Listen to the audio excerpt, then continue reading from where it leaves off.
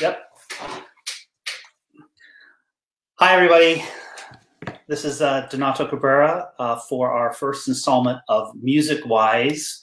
Uh, we are so excited to have as our very first guest my good friend Maria Radutu, all the way from Vienna, Austria.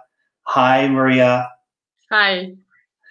Um, there's so much to talk to talk about um, and subjects to chat with, but just let our audience know first of all um, a little bit about you, where where you're from.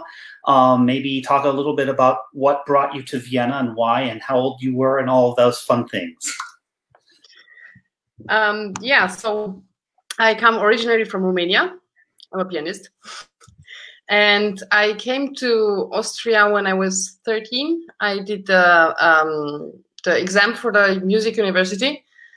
And at that moment, I didn't know if I can. So I, I got accepted, but I didn't know if I am able to, to really come. And I had a huge luck to get uh, the only long time um, scholarship from the Romanian Academy which made it possible for me to to stay here and to study and then yeah vienna turned out to got, got to my to be my home so so tell me uh was there someone you wanted to study with was there a was there a personal connection with the, the, who you were studying with in in bucharest with someone here in, in where you are now what why why specifically vienna not Berlin or London or somewhere else?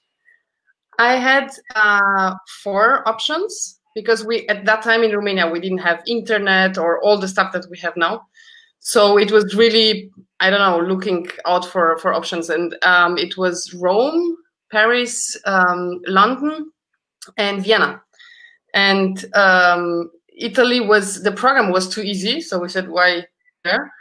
Paris was too far away, and uh, in London I got accepted per video uh, uh, by the Yehudi Menuhin um, Academy, mm-hmm. which was I think at that time thirty thousand pounds a year, so impossible okay. for us. Mm-hmm. So it was Vienna. Cool. And did you know who you wanted to study with? Like, or was it were someone just selected for you? Um, for the first two years, I was in the preparation part of the university, mm-hmm. and I was just lucky. I got three names, and we just choose by, yeah, I don't know. I and I, I really got lucky to have the, the best one for for talented young uh, pianists. It was Imola Joó. Uh-huh. And then I got to to know the professors here. So two years after, when I uh, got the, to the next grade, uh, I choose to go to Stefan Vladar. Aha. Uh-huh. So, oh wait. So here's a question, and we've talked about this before. So you you came to you you you come to Vienna, new country. Did you understand any German at all? Did you study German? What what what was your relationship to the culture and language of Austria when you first came? when I came, I knew a little bit more, but a long time when I when I started studying music or learning music, and I, I was reading about the uh, musicians and the, the composers, and of course about Mozart. For a long time, I thought that the moment you get out in Vienna, you see their cars, they're mm-hmm. just horses, and so I had my image of Vienna was very uh, much the 18th century of Mozart. Right, right. And then, yeah, uh, so uh, this changed. and of course, the, the, connection that I had was uh, connection. It's not, not even connection, but the I knew two CDs by really big pianists. Um, not not talking about the Russian ones, mm-hmm. from the from the Western uh, parts, and it was Brendel and Pollini. So you can imagine how when I saw the name of Brendel on Konzerthaus, I was like, oh, I know him. yeah, it is. It's you know, it's so interesting when you go to Vienna or you know, um, New York City or London, and you walk past uh, the Musikverein in Vienna or or uh, the Konzerthaus or Carnegie Hall, and you see the posters of yeah. people that that people are that are there every day one day after the next. And you saw, as a young person, Alfred Brendel, who at the time was still playing obviously a lot, hadn't retired yet, one of the greatest pianists that, if you are an aficionado of, of classical music and classical music recordings, he he recorded so many amazing there's so many amazing recordings. And of course Maurizio Pollini one of the great Italian pianists who was also still is playing but then was really at still the very top of the of the of the piano pyramid. Um, so that must have been so like overwhelming in a good way for you coming to Vienna to be then surrounded in this world that you only only had access to via recordings or or the TV. Yeah. Yeah, and also the recordings were at that time. Now it's not. We cannot even imagine uh, how far away it was. Now yeah. you get a, a, flight ticket for 100 euros or something and now you don't because everything is shut down but but the distance between Romania and Vienna in in the late 90s was a lot bigger. Uh-huh. Yeah, yeah. I grew up with the Russian pianists, with the big ones and everything, but this this uh, access to information was not um, not as big as it was here already. Mm-hmm, mm-hmm. So, but I had a, a teacher in Romania, uh, and she studied in in Germany. So through her, I had a little bit of access, and also I heard at her place the Schubert Impromptus by Brendel and uh, and Chopin by Pollini. So this was the only small door I I had, and the rest was from the music history, not from, not from the things that happened at that time. So I discovered all that when I when I came here. Um, so you ended up two years later studying with the, another great, very well-known pianist, uh, Stefan Vladar, and was this do you feel looking back now you know you had a great education in, in bucharest you were learning uh, from a wonderful teacher then you moved to vienna. Was it all like you look back on the, your time when you were studying with with pianists was it all sort of a upward curve and like the right the right teacher showed up at the right time in your development? Do you, do you know what i mean? Does that make sense? Yeah yeah. It does. Um it's it's quite difficult to answer because I'm I'm I'm really happy that I, I had a chance to study with him. Mm-hmm. But I changed a lot teachers when I was young, and then wow. I came to Vienna, and then I found him. And I was so happy that I stayed in his class for for a very long long time, and it was just nobody as for me as good as he was. Uh, so I studied with him eight years, and I think in a normal um, development or in a yeah general one it's uh, children are studying along with the first teacher and mm-hmm. then they are changing a lot more yeah. but at the time that i was able to i would have been able to change uh, i was in vienna for six years and it was the first moment that i felt home because the first years were not so easy mm-hmm, mm-hmm. and i was from my personal point I, I, I cannot change again it, it took me six years to be home here I cannot move to another country for for two other years. But he was always extremely open to to our communication, and so we changed for a while to chamber music. So oh. he, actually, I learned chamber music also from him. And after this while, then I got back to to solo. So he helped me in all these steps of development what were what do you remember some of the things playing chamber music for the first time that was new to you that you hadn't experienced before playing just solo repertoire? What that was sort of a shock or a wonderful surprise? Uh, learning how to breathe together. Aha. Uh-huh. the beginning is i was 15 when i did the first chamber music uh, rehearsals. And to understand that almost all the others need more time until the sound is here. So it's not like on the piano, it's here. Mm-hmm, mm-hmm. So learning to breathe with them, and this was also the most astonishing part because um, at first you learn it, but at some point, if you if you have an ensemble, this um, automatically breathing together, it's the most beautiful thing on stage when you don't you don't have to talk about it and you don't have to take care of it. It just it just happens naturally. And of course, being a pianist, and this this is the same with any instrumentalist that that does not have to breathe in order to make sound. Like uh, you know, someone who plays a string instrument or a percussionist. Um, of course, be, being a brass player or singer or a woodwind player, you have to breathe in order to make sound. But I, I would imagine that going back to playing solo repertoire after learning how to that you have to breathe in order to make music it applies it applies also when you play by yourself more so than maybe you realized yeah? That's exactly the point that you can produce a sound you don't have to breathe for it but in order to make music you have to breathe.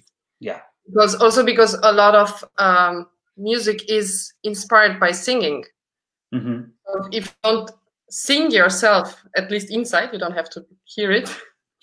Uh, then the phrase won't be natural you know let's let's well actually before we play the first video i, I want to talk a little bit of, more about the idea of collaboration of playing with a, a someone else even if that person isn't a musician because you now collaborate with uh, an, an, incredible um, uh, dancer. Uh, he uh, is a dancer, uh, one of the main dancers at the Vienna State Ballet, Eno Peci. And can you tell tell us a little bit before we play this first video of this this incredible collaboration you have, how this idea formed and um, what this what this what this uh, I what this collaboration means now for you uh, with Enno.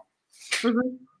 um, we worked together on the stage of the Vienna State Opera for a project where I was invited as a guest soloist, and um, most of the music was written by Mikael Karlsson, the Swedish composer. Mm -hmm. And we had some scenes just the two of us. So the whole thing was with videos and uh, dancing and choir and uh, I mean ballet ballet choir and orchestra and a lot of things happening. But from time to time, it was just the, the male dancer and, and I, and that was also the ending.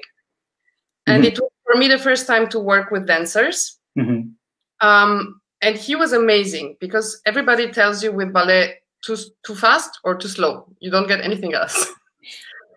and if you're good, it's not, not faster or not slower. And after the premiere, I knew that dancers are getting in the premiere a little bit slower and musicians a little bit faster. It's so true. yeah, because of of course everybody's a little bit nervous. And I asked him, was it fine and was it too fast or whatever? And he's like, mm, not faster. And after the second time, I asked, and he said, now I know the music so well. You just play and I go with you because you cannot look at me, but I can listen to you.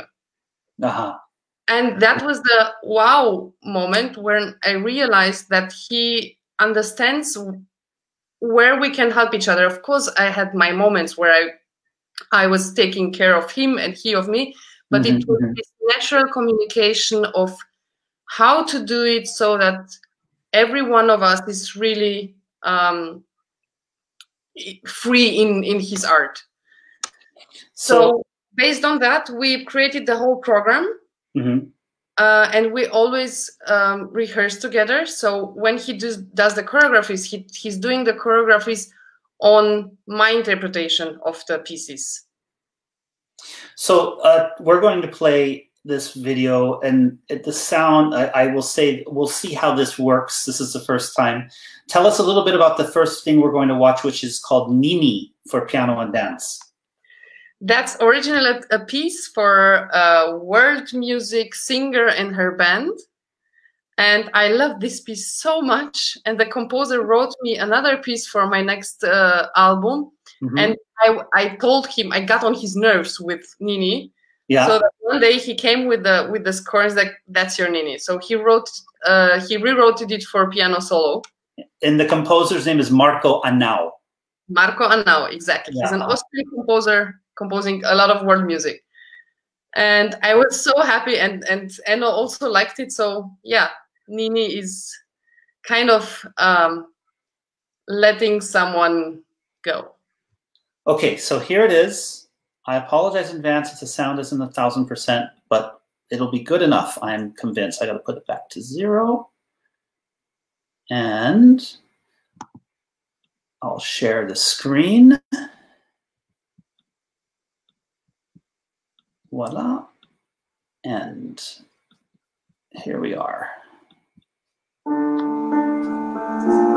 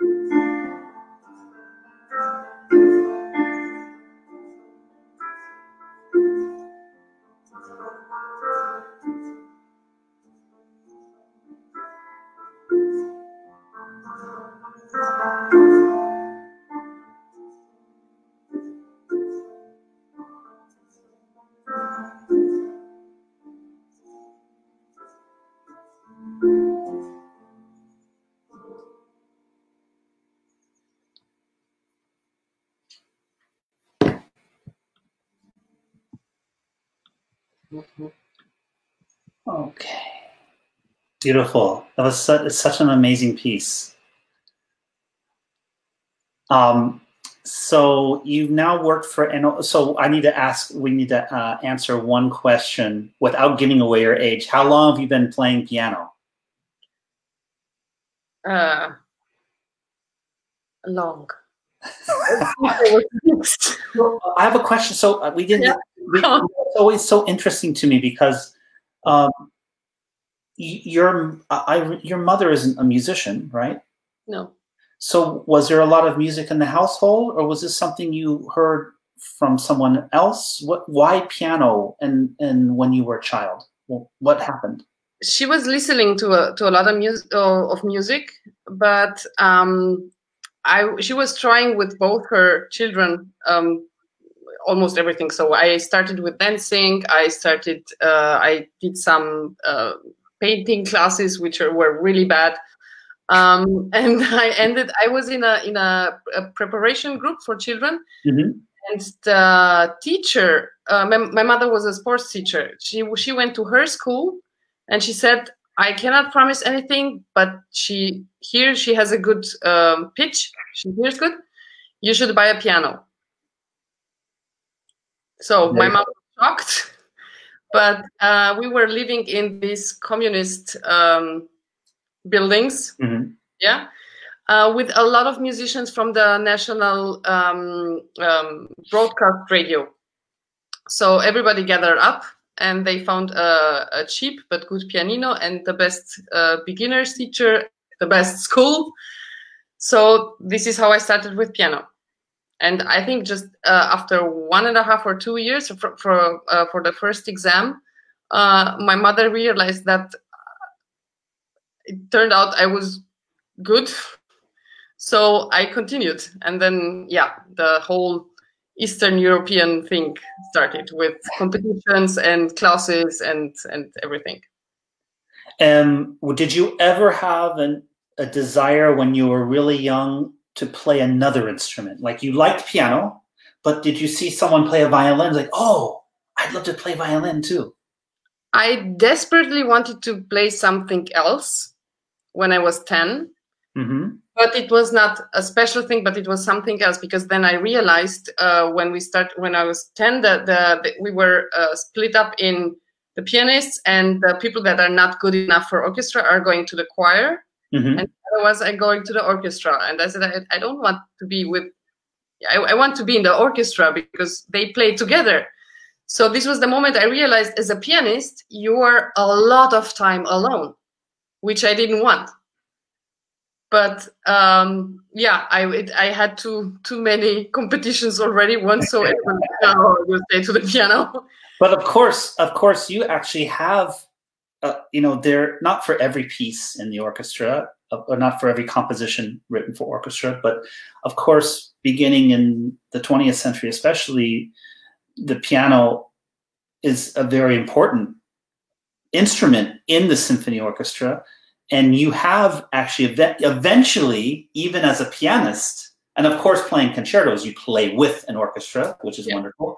But you eventually had the opportunity to play in an orchestra, play the piano part in an orchestra. Yeah, and that, that must have been fine. That must have been wonderful to have that experience eventually. It was great because the first time I was playing piano in Celesta uh, on the uh, summer night concert for mm-hmm. the Vienna Philharmonic, John Williams, Star Wars. Amazing. fantastic. Uh, oh, there's another question uh, from Arabella. Do, do you memorize your pieces or do you bring your sheet music on the stage with you? This is actually a very good question because I just, I just want to give a backdrop to the idea of memorizing. It was not until, until um, Clara Schumann decided to play a concerto by memory. You know, it was her, it was her concerto, no? It was, or was it her husband's piano concerto? Now I can't remember. I think it was her piano concerto. Um, that pianists, including Beethoven, Mozart, you name it, the, everyone before Clara Schumann played with the music in front of them. and then she decided in the the middle part of the early early part of the first third of the 19th century to play without music. And actually she was criticized for this. People thought that it was uh, vanity that she decided to do this but it's so interesting now because uh, it's almost expected that a soloist walks on stage and usually plays a concerto without the music so, but that's not always the case. So, Maria, maybe you can talk a little bit about um, your approach, your philosophy about memorizing versus not memorizing.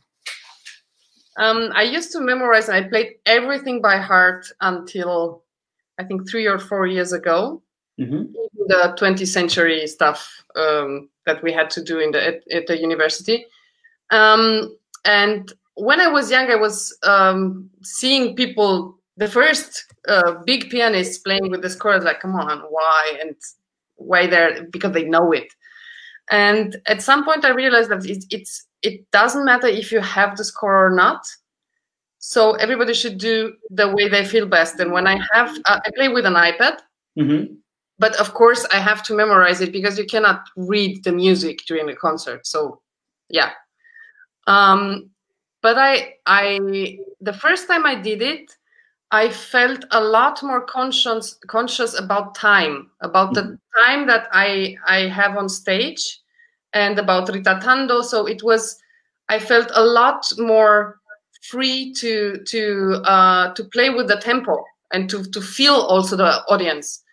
So I said, why not? If this makes me closer to the to the audience and clo- closer to what is really happening now, because I'm not afraid that something can happen mm-hmm. with, the, score, then let's just put an iPad.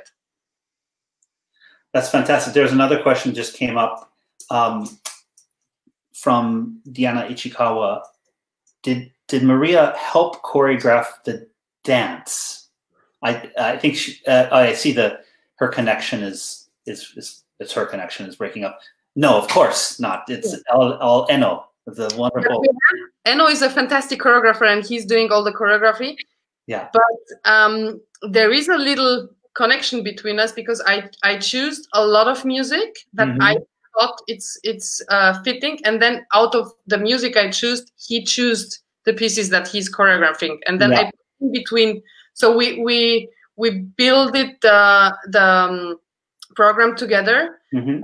Have sometimes in rehearsal some moments of connections that are just happening.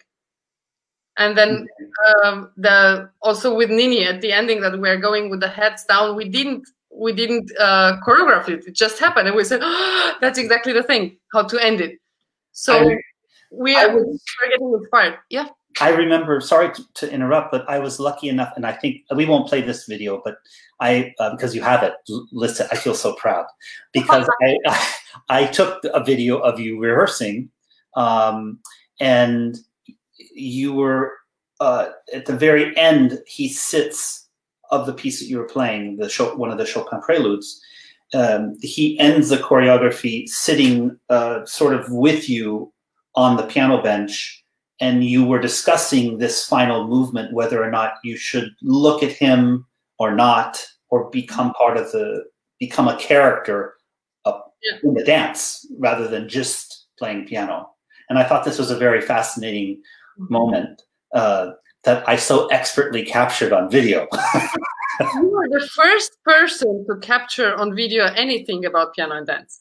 Really? Yeah. So many. There's before that we don't have to talk about all the other firsts that I've been a part of, but that's I, I'm very proud of that.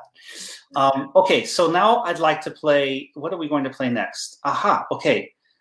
Um, this is from. Uh, what do we have here? I wanted to play. Ah, yeah, yeah, yeah. Okay. So next up, we were going to do from again your your love for for collaboration. You you started working with a couple of years ago this fantastic Viennese clarinetist, um, Markus Adenberger. Uh, and Markus and you put together this really uh, wonderful recording uh, called, and, and it's, it's especially for an American, I love this play on words, uh, who, you know, an American who loves American music as well as Vienna, the Gersh Wien project, Wien being the German title name for Vienna. And uh, aside from some uh, wonderful miniatures and so forth, and, and, a great duo of Rhapsody in Blue, uh, you you wanted us to hear this recording of the two of you called Hommage uh, Edith Piaf, uh, homage uh, to Edith Piaf. Um, huh? That's the piano solo part. Ah, you, wait, is that what you want? Wait, okay. What about you? Do we want to do a duo instead? As you want. You can. I want to hear both of you playing. Uh, th then let's do the Penderecki. It's a uh -huh. fun. It's a fun thing to start a CD.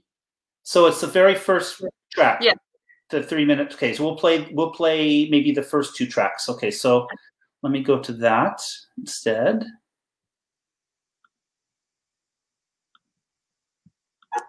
And okay, we'll go to share screen, etc. Share, and then voila.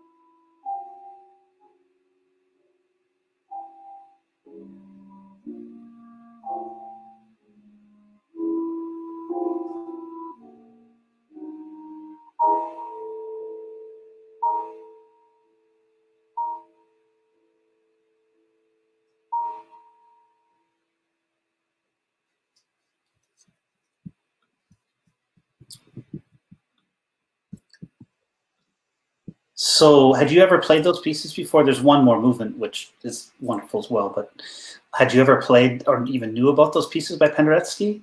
I knew about them, and but I didn't play them before, so it was the first time. Um, I have a question. You know, we weren't going. We I don't.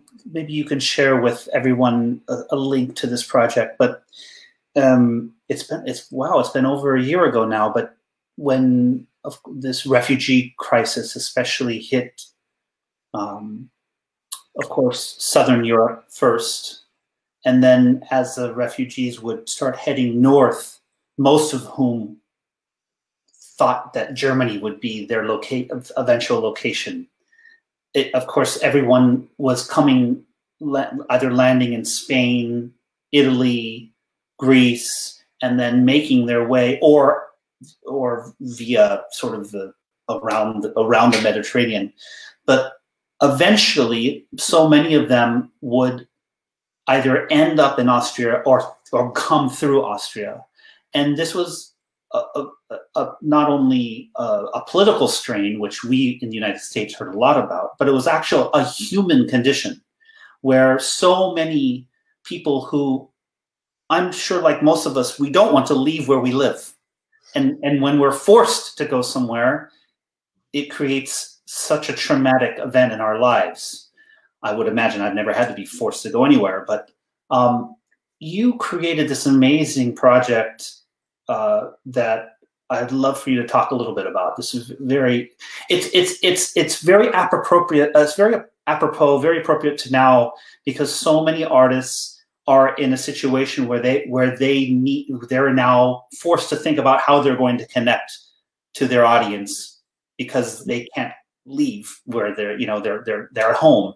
And yet th this is very similar in that you felt it was necessary to create a connection uh, not only with the refugees but the, connecting the refugees to Vienna Austrian life to European life Yes, because um, in Austria, a lot of people really jumped and helped. Uh, not necessarily the NGOs uh, in the first place, but uh, really going to the to the train station and bringing food and uh, stuff for children. So the the civil population was very uh, very welcoming at, at the beginning, mm -hmm. at least. And then there was a point where um, they they were here for a couple of months, and I thought it's it's good to get all this help at the beginning, but it's important also to give something, to be able to give something back. Mm-hmm. And that's why uh, we we built this um, this project where the um, unaccompanied uh, young refugees were uh, taking workshops in uh, um, body percussion and singing and um, dancing so it was everything that to do with your body and to put them on stage. So we had uh, concerts that were mixed between um, local artists and refugees. And a lot of what was important for me, a lot of friendships um, starting and they're still going, even if the project is not as, as it was. Um, but this, I think it was good for them to, to go on stage, to bring something from their culture, to start talking to each other. And also in the workshops, we had Austrians and um, not Austrians living in, in, in Vienna and these young refugees. And when you talk to each other and you get to know each other, people are not, we were, Austrian population was afraid of the refugees. The refugees was, were afraid of the Austrian people. So if you manage to get them to talk, then a lot of beautiful things happen. And you know, it's uh, I'm curious. Uh, this talk, this is uh, this question's about the larger larger topic of as an artist. You, every artist has. We all have great ideas, right? We all sit at home in the morning. We drink our coffee. And it's like, oh, I want to do this project. But it's one thing to be able to sit here with our coffee and our cigarette or whatever, or a glass of our third glass of wine and dream big dreams. But it's another thing to actually make the project happen. Mm. And uh, can you talk a little bit about? Of course, Austria is different from Germany. It's different to France. We all we all have, and of course, the United States. We all have different what we call funding mechanisms. Mm -hmm. um, how were you able to get the money, enable, and support financial support to make this project happen for you? Was this individual gifts? Was this applying for government subsidy subsidies? How did this work? I tried to apply for for government supplies and state. I didn't get one euro. Mm-hmm. Uh, and I, but I got one company uh, to to rent a concert hall in the in the Vienna Konzerthaus and a lot of um, musicians to play for free. So uh, we did a big um, launching uh, concert. Mm-hmm. Uh, where we got a lot of uh, fundings also for the next months. So this was actually the base for the most of the whole project. So it was ju- just really people seeing what we are doing, and the first friends paying for the first concert hall, and a lot of colleagues of mine saying from the first. I had nobody that said no. Everybody was like, "Yeah, of course I'm part of it." And that so, was- so I guess the lesson is that if you if you have an idea, don't be afraid to ask your friends to yes. help that help that idea come make be a be a re- reality. Yeah, because they can say no if they don't want to. Of course, of course. we are always ask. It's very good advice. Let's play another clip. I, I thought talk, let's talk a little bit about your album Juju. First of all, it's one of my favorite, it's like my, my favorite title of an album ever. um, I love the title. Uh, and let's talk a little bit how this came to be because this was your first solo album, yeah? Yeah. Uh, I was very much afraid of microphones. Why? So I never, because you play the thing once and then it's there and then you have to face it how it sounds. For the rest of your life. so I never imagined myself uh, recording CDs. Uh, and also i never imagined myself talking on stage about the music i'm playing and that's now exactly what i'm doing mm-hmm. um, but i had a um, concert series in a beautiful concert hall in, in vienna and i got to know georg burdicek who's the most amazing sound engineer and he, and he at the time i guess well in the sound engineering world uh, it's a very small world of people but he uh, is probably most famous for being the sound engineer for a very well-known Austrian label called Preiser Records. Would you say that's his most famous or no? Not only Preiser, he's uh, he's at least in Austria, I think also in Germany. If um, if a journalist doesn't know the the musician and looks on the other side and sees Georg Burdicek, you know it's gonna be good. Wow. Okay. Yeah. So, I didn't know all that stuff. And um, the um, the concert hall was with this label uh, mm-hmm. the same hall and they said come on let's do a cd and you have him here. I like i don't want because you have these micros. And but he recorded some of the concerts and we had such a good connection we said ah, we can try. And he always from the first recording he always made me feel that he's doing nothing and that i have all the time in the world that i want and he's doing everything amazing so I started with him and I never stopped and he's definitely um, the sound engineer I'm doing everything with. Um, great. So then, so when did when did you record Juju? And what track we're going to listen to the Ligeti track, but yeah, uh, which is going to be wonderful. But uh, this was uh, well, maybe it says 2013. Aha, yeah, okay. Yeah. It was uh, when we played in Spain the first time, it was exactly after the first recording. Wow, 2013. It seems like a lifetime ago. Uh, so we're going to listen to a, a Ligeti piece. Now, these these etudes are many. I would say for the longest time, most pianists felt that they were impossible to play, um, and only a few pianists even attempted to learn them and perform them. Tell us about why you chose this this challenge for yourself to learn a piece, one of these wonderful pieces by Ligeti, and how did you learn? How did you learn it? I had to because it fitted perfectly into my concept. so the the the concept of the CD is that the middle piece uh, shows five composers, mm-hmm. and the first one is Ravel, and the last one is Ligeti. You can see on my homepage why and everything, but that's the short story. And Ravel and Bartok, uh, not Ligeti, but Bartok, and Ravel and Bartok lived at almost the same time, and these two pieces are very different. Mm-hmm. So I took this living at the same time but being very different, and I put it into romantic time, uh, and I played the Chopin, the very pittoresque uh, Chopin, and a very existential Liszt with Walter Dobermann. And on the other side, after the last piece of the Bartok suite, I thought that uh, Schoenberg fits very well with his six little pieces.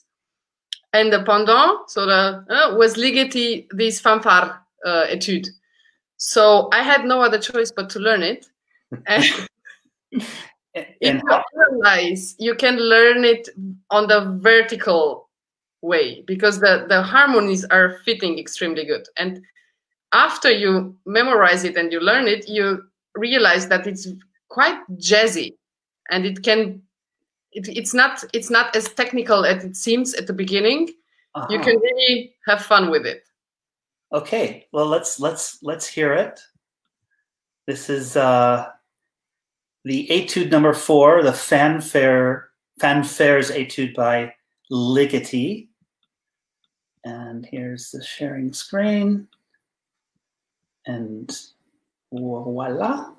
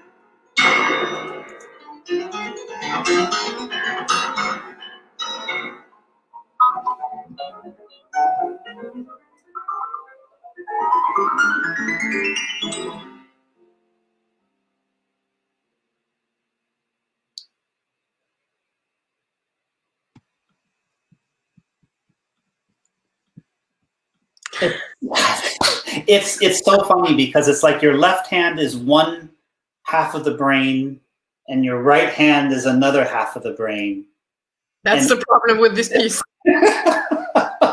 it's just uh, it's like you know it's you're split in half but it's so interesting because how you just described it before we listened to it this idea of think of it thinking of it as jazzy you know sort of mm-hmm. like you're just sort of riffing with the with the melody in the right hand it's it's mm-hmm. makes it's like fast Thelonious Monk or something it's, it's, fantastic it's such a great piece um, let's before we. I think what we're going to do is we're going to play the. I'll, I will share the video of of the Mozart Piano Concerto Number Twenty Three because it'll be better sound that way. Everyone can watch it on their own, and it's so wonderful. We can talk a little bit about uh, talk about this in a minute, but it's the concerto that you. Uh, the reason why I wanted you as our first guest was because you made your uh, American United States debut with the Las Vegas Philharmonic and the California Symphony playing the Mozart's the Mozart's Piano Concerto Number Twenty Three, um, and now I have to remember this was two thousand and six. 17. 17. I was going to say end of 2017.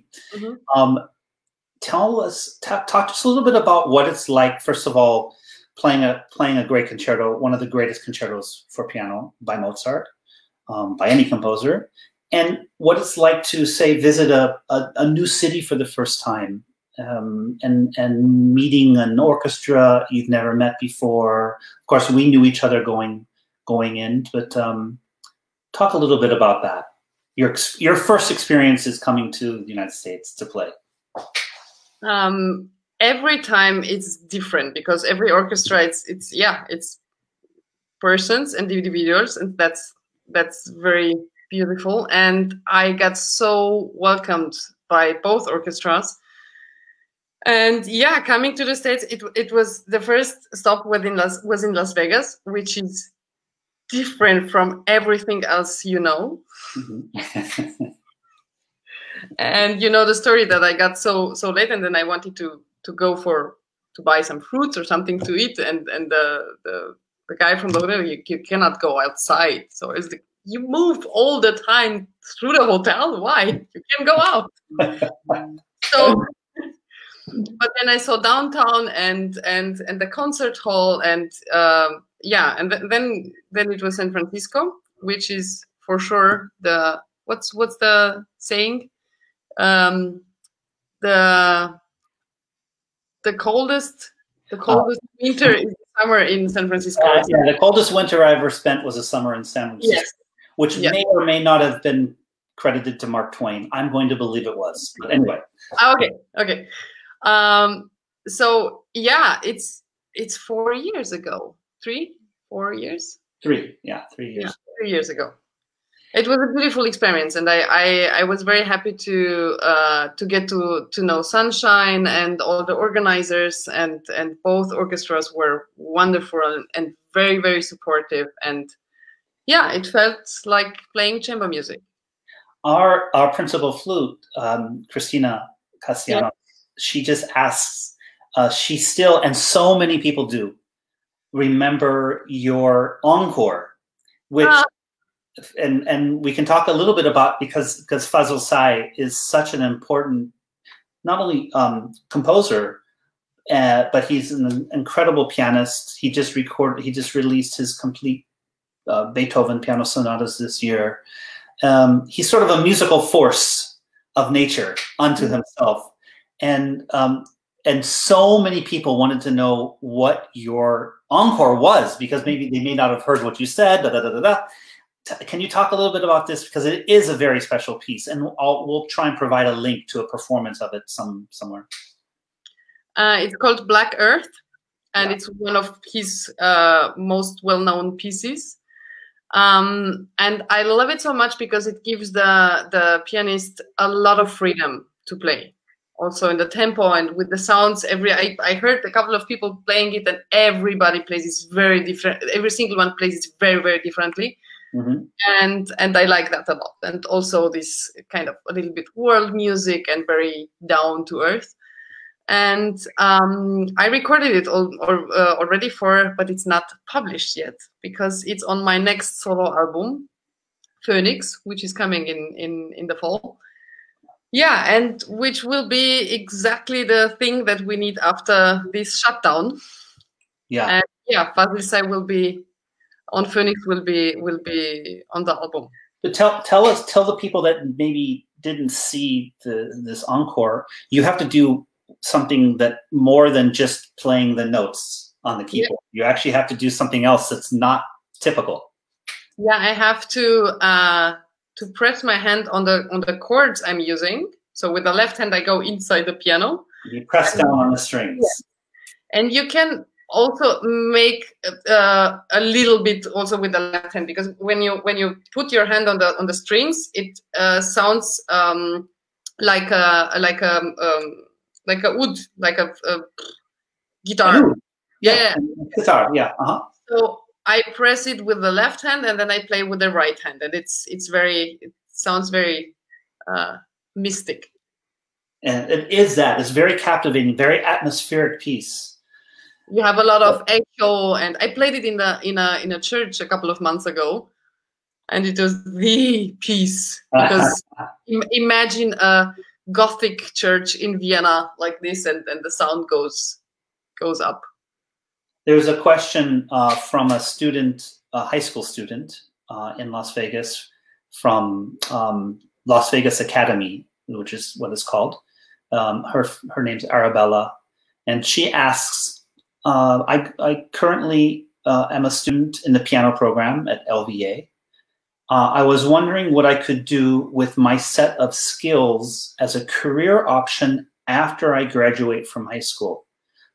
Let, let me answer let me try and answer that question. So I, i'm assuming that she wants to use her set of skills as a pianist. So obviously um, there's so many options as going when you graduate from high school first of all graduating from high school uh, will not give you many career options in any field unless you continue on and going to to university but even if you don't pursue music in university um, as a major, I think that, and Maria, you can add to this. I think that the, and it's like in some ways it's very similar to learning to playing sport or, da or dancing when you're when, when you're growing up. Um, learning how to be disciplined about something, whether it's practicing an instrument every day or going to football practice every day or whatever, uh, writing every day, drawing every day, the idea of, of, of accessing your brain and being disciplined about being creative, because being creative and, and being disciplined about being creative, they have to go hand in hand. You can be a creative person, but if you don't be disciplined about it and do it with, with intention, it will never grow. It's like it's like a muscle, the creative, the creative muscle. And so even Arabella, if you go off to university and you study something other than music, the skills that you learn practicing your piano every day will help in anything you choose to do. Maria, do you have anything to answer to that? Add? Uh, it's not about a piece of paper with the graduation, but I would always recommend it because it's it's about the preparation, not only to get to the graduation, but also to prepare the exam. I don't know how how the exam is there, but in in Vienna we had a lot of things to learn. Something that I would never play anymore, but this uh, range of of music that you have to learn and and try to to uh, to play convince convincing yeah uh, is very important as a base and then afterwards you can you can find your own way but it's not so the graduation is not to help your career but it's for you to help build yourself mm-hmm.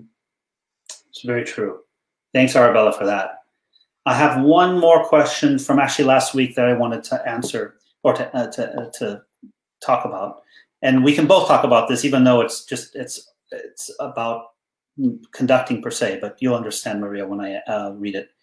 Uh, when you plan, and this is from Martha Gardil.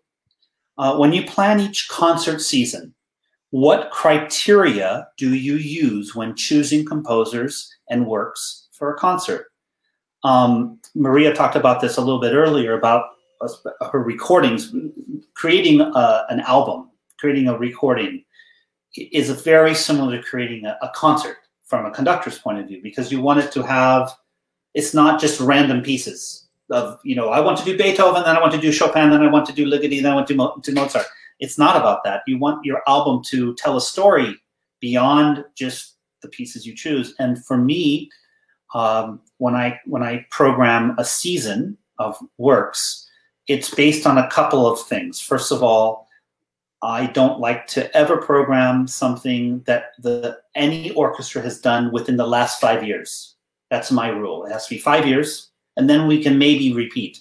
Even then, I don't usually repeat something that was played six or seven years ago because there's so many great pieces that orchestras don't ever do that should be done, or um, there, of the famous pieces, there's still so many to choose from without having to repeat every five years. That's one criteria. That's not an artistic criteria. It's just sort of a, a framework that I set in my. It's a rule that I use. But when I when I program a specific concert, my story. There are different things I, I can tell. I can tell a story about composers who are all living at the same time. Uh, maybe uh, you know, uh, someone who was living in France and someone who was li living in Italy and someone who was living in Austria, and they were all composing these pieces within the net within two or three years of each other. I can use that as a goal. Um, I can choose one composer. So I often like to choose. Uh, I often like to do these sort of mini festivals where I do all Brahms, but I choose pieces by Brahms that are very different from one another like the academic festival overture, and then maybe uh, an, uh, a serenade, and then maybe uh, maybe one of the concertos. They and they all sound so different, but they're all by the same composer. Um, or I uh, love to uh, use a very musical um, uh, thing that maybe most people would never realize, maybe subconsciously do. I use music that are in um, keys that are related to each other. So maybe I do an overture in A major, and then the concerto is in D major. And then afterwards, the symphony is in G major. So what this does is the A, for those of you who love music, the A major is the dominant chord to the next piece, which is in D major, so that sets the A major sets you up for the D major piece. And then you have intermission, and then that D major piece is the dominant chord for the G major piece. So you go five, five, five of five, five, one. And that's very that's a very um, very specific thing to do. But I tell you, people will they may not realize what's happening, but it will sound like ah, this piece should follow the, the, the previous piece. How about you, Maria? I have another one. It's okay. everything right what you said. Yeah. Uh, I choose for, but I think this is more more for albums. I uh, select pieces by their atmosphere to tell the story. So uh, that leads me to a little invitation for tomorrow to a digital concert uh, for my uh, last album, Insomnia, which is um, the story of uh, all the night atmospheres yet that you can have from uh, impressionistic. It can you have also a nightmare and the morning prayer and yeah i think the link is somewhere. I don't know. I, I will we'll, we'll provide we'll provide the link. It's on konzertsaal.at so Oliver, do, Oliver's doing a great job providing links. You may not know that, but she, he's putting. Oh, perfect! so for albums, I, I yeah, I choose pieces by atmosphere. Atmosphere. So uh, sometimes when you see the program, you don't understand why this is related to each other. You get it when you when you listen to it. And if I don't have a piece for a certain atmosphere, then I talk to a composer to write it. And how? And tell me, tell me about that. How did that? Uh, how? What atmosphere did you want? and what and who did you choose to write that atmosphere for you? I I wanted something uh, between Nordic minimalism, so between on insomnia, between uh, Peteris Vasks' White Scenery, mm-hmm. and the last piece uh, where I wanted to have a morning prayer, which is a jazz ballad by an Austrian uh, jazz composer with a fantastic saxophonist. And for in between, I had nothing. So I asked Margareta Ferek-Petrić, mm-hmm. who is a very new music composer, but with a lot of heart inside her and and yeah she's also coming from balkan so she, she was able to understand me what i wanted to say and she wrote last smoke mm-hmm. which is um, about this moment of the last cigarette of the day or in the morning where you think you're alone and with your thoughts but there is something knocking behind so a ghost is still there ah, you cannot hide from me.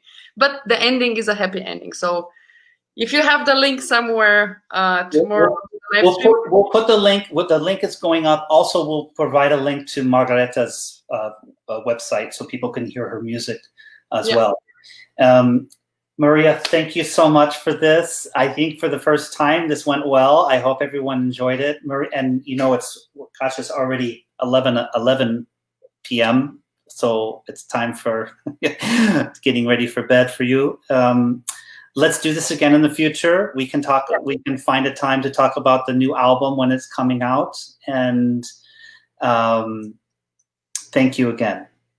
I really, really enjoyed it, and thanks for asking. And have yeah, you have a great day before. And what, what I'll do now uh, is, uh, and I'm sure Las Vegas Philharmonic and California Symphony will do the same we will share your performance of Mozart's Piano Concerto number 23, which is on YouTube. Uh, and uh, we can't wait to see you again in real, in, in, in, in the flesh, as they say. Looking forward to seeing you too very soon. Bye bye. Thanks, Maria. Bye.